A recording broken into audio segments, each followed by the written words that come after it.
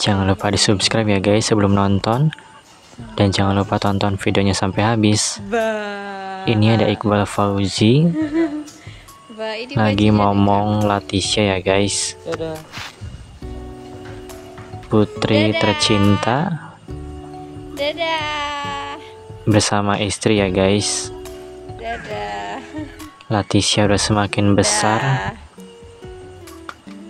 Latisha anak yang cantik ya guys. Dan pintar. Nih mirip banget sama Kak Iqbalnya ya guys. Menurut kalian mirip gak guys sama Iqbal Fauzi? Rata-rata kalau anak perempuan itu miripnya sama bapaknya ya guys dan biasanya anak laki-laki mirip sama ibunya. Menurut kalian gimana guys? Setuju nggak?